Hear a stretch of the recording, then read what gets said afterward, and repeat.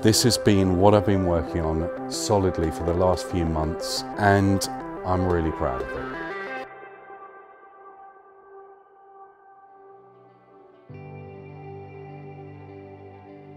So my latest collection of work is called Hands On. It is a bit of a departure from my usual work, but this body of work has been basically growing and I've been drawing since the late 90s. These are my sketchbooks from then. And it's called Hands On because it harkens back to my stone carving, wood carving days, three-dimensional sculpture. Um, I'm putting it all in the pot and it's about taking the sort of the old me and everything I learned and pushing it myself and the work into a whole new place.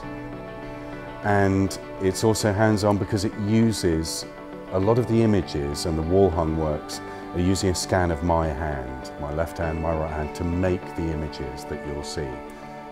And it really is about pushing my old self into a whole new future, and that's what this body of work is about.